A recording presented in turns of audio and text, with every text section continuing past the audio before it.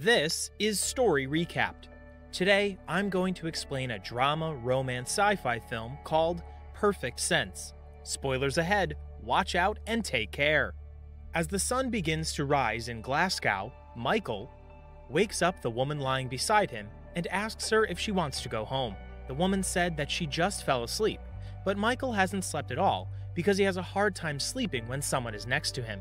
The woman gets upset that Michael is kicking her out after having fun with her all night, but she agrees to leave. Elsewhere, Susan and her sister Jenny take a walk by the seaside. When Jenny asks what Susan wants to do for the day, Susan tells her that she feels like throwing rocks at seagulls.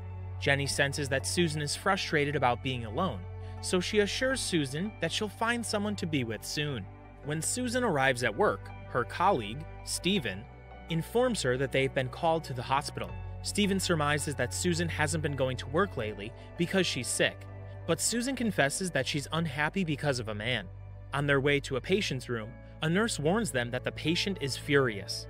Then, the patient's wife approaches them and tells them that her husband called her and suddenly wept while telling her that he no longer understands the meaning of life. Her husband is a truck driver who doesn't usually say such things. The woman then reveals that her husband lost his sense of smell afterward. Upon meeting the patient behind a glass window, Susan asks the man if he has seen anyone with similar symptoms at home or work, but he doesn't have a clue because he's been in the hospital for half a day.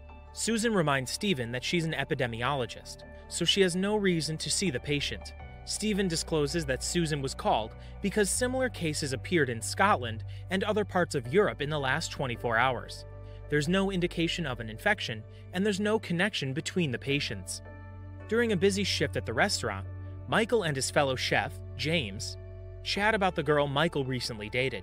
James scolds Michael for dumping the girl after sleeping with her. James would have made breakfast for the girl, but he adds that women seem to prefer jerks over nice guys. James warns Michael that he'll be in love one day and he'll feel miserable. When Michael takes a break in the alley, he sees Susan smoking by her window so he asks her for a cigarette and a light. After Susan throws him a cigarette and a lighter, Michael introduces himself and shares that he works at the restaurant nearby. Susan refers to him as a sailor after Michael throws back her lighter, so Michael clarifies that he's a chef. Days passed, and the epidemiologists discover that the disease is not contagious, but they still don't know how people acquire it. Susan notes that the source could be environmental or a toxin, Stephen then notifies his colleagues that he'll tell the public that the disease will probably disappear soon to avoid panic. Soon, several people are found crying in the streets across the globe. Susan notes that people are initially overwhelmed with grief before losing their sense of smell. While Michael heads home on his bike, he encounters several people wearing face masks, even though epidemiologists have said that the disease isn't contagious. As the illness spreads, people stop going to restaurants, so Michael and the other employees have nothing to do. One night, the chefs decide to go home due to the lack of customers, but Michael stays behind for a smoke. Moments later, Susan arrives and sees Michael smoking, so she remarks that Michael seems to have his own cigarettes. Susan still refers to him as a sailor, so Michael reminds her that he's a chef. Susan then clarifies that she's just emulating her father, who calls everyone a sailor. Before Susan can enter her building, Michael invites her to eat in the kitchen. During the meal, Susan discloses that she's gluttonous when she eats because she had a disorder when she was young. Michael tries to give Susan something for dessert, but she suddenly bursts into tears as their conversation about sailors reminds her of her father. When Michael embraces Susan, she tells him not to do it because it might be contagious. Michael then takes Susan to her apartment as she continues to cry. As Michael lies with her in bed to comfort her, he becomes afflicted and starts crying. The following day, Susan and Michael find out that they've lost their sense of smell. When Michael returns to work, their boss instructs the chefs to cook their best food to compensate for the loss of their customers' olfactory senses. As people try to move on with their lives, Susan laments the loss of memories triggered by specific odors. She expresses her concern that millions of past images in people's minds are slowly disappearing due to the absence of smell. One day, Michael and Susan go for a walk. Under a bridge, they come across a street performer who encourages them to reminisce about their olfactory senses and appreciate the other senses that remain. Later, the two return to Susan's apartment and make love. Afterward, Michael tells Susan that he'd like to sleep beside her. He notes that it's unusual for him because he normally can't sleep when someone is next to him. Susan, however, stresses that she needs to be alone, so Michael leaves her after giving her his number and address. When Susan meets with Jenny, she reveals that her ex boyfriend has already married. Jenny asks Susan if she's interested in being in a relationship with Michael, but Susan is hesitant because she thinks she usually picks jerks. Jenny argues that not every man is a jerk, but Susan stresses that she'll just try taking care of herself. As people continue to struggle, different groups look for someone to blame for the disease. Environmentalists believe that it's the beginning of an ecological disaster caused by pollution, while fundamentalists of various religions blame non believers. Communist regimes contend that capitalists released a military virus to stimulate the economy. At the lab, Stephen becomes delirious and starts rambling about people plotting against him, so his colleague immediately injects him with a sedative. Later that day, Susan is suddenly overcome with the fear of dying alone as she walks to her car. Barbara, another employee at the lab, notices that Susan is disconcerted, so she tries to calm her down. At the restaurant, Michael and other chefs are also experiencing panic attacks. When Susan finally calms down, she grabs Barbara's bouquet and chews on it. Back at the restaurant, Michael and the other employees grab anything they can fit into their mouths. Soon, people all over the world are engaged in an eating frenzy, gobbling up anything in front of them, even raw meat. When the madness ends, the people realize that they've lost their sense of taste. When Michael goes home, he finds Susan waiting for him. That night, Michael asks Susan if she thinks they'll lose their remaining senses. Susan explains that taste and smell are related senses, so the others might not be affected. The next day, Michael goes back to the restaurant to find out if he still has a job. The owner tells him that he decided to close the restaurant because people can no longer smell or taste. People will just buy flour and fat because that's all they need to survive. Michael encourages his boss to keep the restaurant open because he believes the people would still want to dine out despite their missing senses. As the weeks pass, people try their best to live as if everything is normal. They look to their other sensations to cope with the loss of their sense of taste. People continue to dine in restaurants for the experience of offering dinner to someone or having someone wait on them.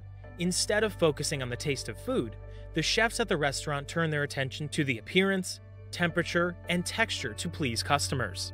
One night, Susan asks Michael to play a game called Make Me Special. The only rule of the game is to tell the other person something no one knows about them. Susan confesses that she hates her sister's kids sometimes. She then reveals that she can't have children because her eating disorder damaged her ovaries. She admits that she only pretends that she's not interested in having kids.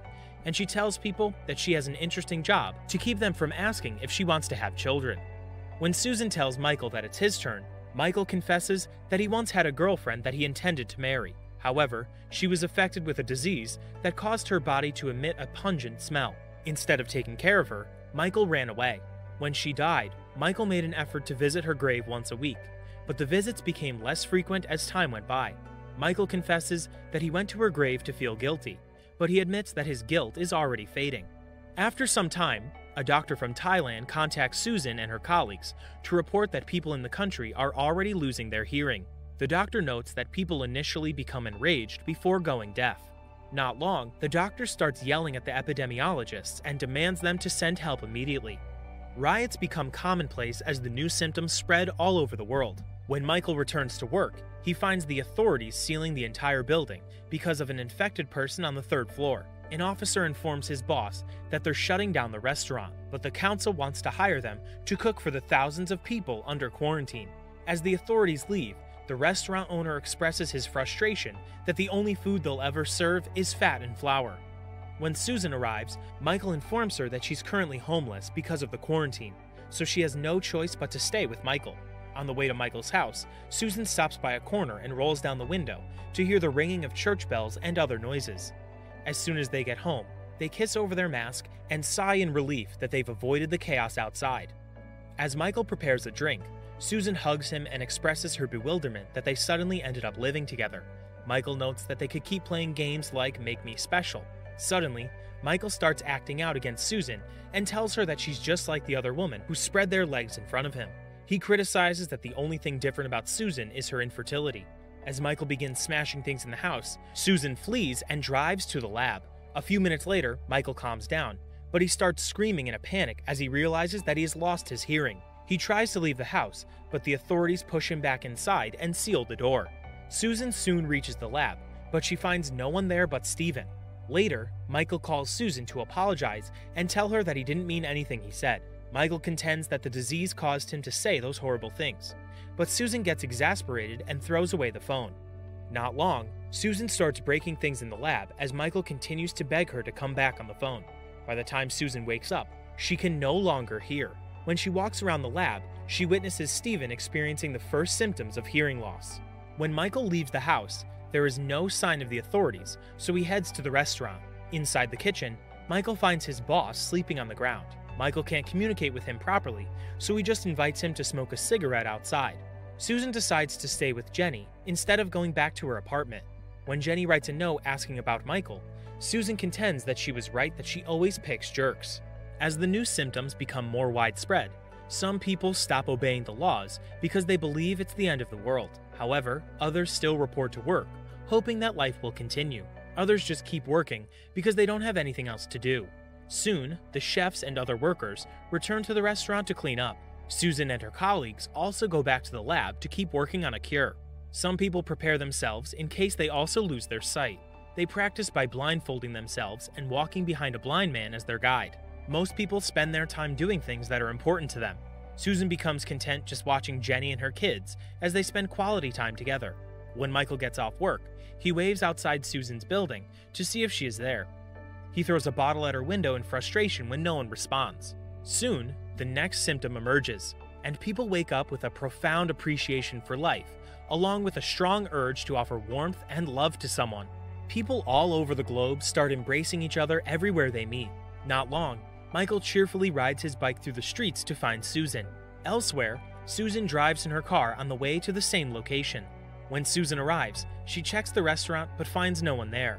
Michael arrives a few seconds later, but he heads straight to Susan's apartment. When he gets to the window, he sees Susan getting in her car. He hurries back outside, but Susan is gone by the time he gets there. When Michael turns around to face the building, Susan's car emerges from an alley and stops. Michael eventually turns back and sees Susan getting out of the vehicle, so he walks slowly over to her. As Michael and Susan approach each other, they seem to be losing their sight gradually. Michael and Susan feel for each other's arms when they meet. By the time they embrace, their world goes dark. All they can do is kiss and feel each other's tears on their cheeks. This is all for Story Recapped for today. Subscribe to watch more videos like this. Tell us in the comments if you want us to recap your favorite movie. Watch other of our videos showing on the screen and leave a like because it helps the channel. And I would see you in the next video. Goodbye.